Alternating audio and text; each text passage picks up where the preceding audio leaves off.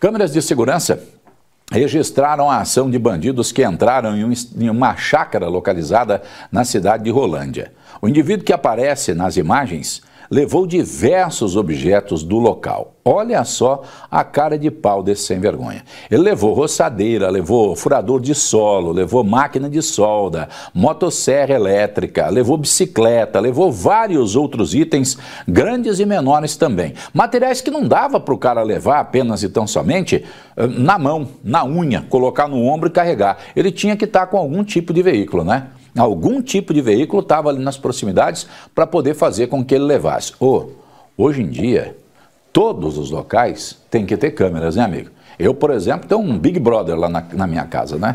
Na chácara tem câmera esparramada para tudo quanto é banda que você vê. Tudo quanto é lado que você vê, né? Câmeras são importantes hoje para quê?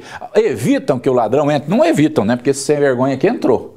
Mas pelo menos você tem a imagem do cara para tentar achar o safado depois que está praticando furtos na região. E esse aqui, pelo jeito, não praticou furto só nessa casa aqui não, viu amigo? Não foi só nessa chácara não.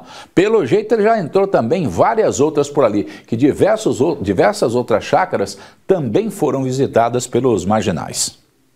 Uma câmera de segurança flagrou a ação do bandido que invadiu esta chácara na cidade de Rolândia. E você já vendo as imagens, já pode ligar para o 190, o Disque Denúncia 181. Você não precisa se identificar.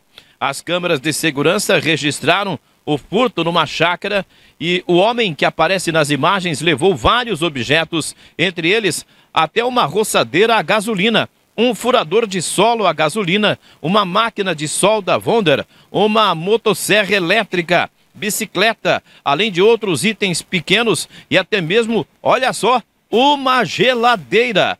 Portanto, esse homem poderia estar aí, né, com um veículo nas proximidades, né, uma caminhonete, ou seja, um veículo que pudesse levar todos esses objetos e até mesmo uma geladeira desta chácara em Rolândia. Se você tem informações, tem detalhes, viu a movimentação do veículo saindo com esta mudança furtada, né? Na verdade, com todos esses objetos. Diz que denúncia 181 ou 190 na delegacia mais próxima, também na cidade de Rolândia. É.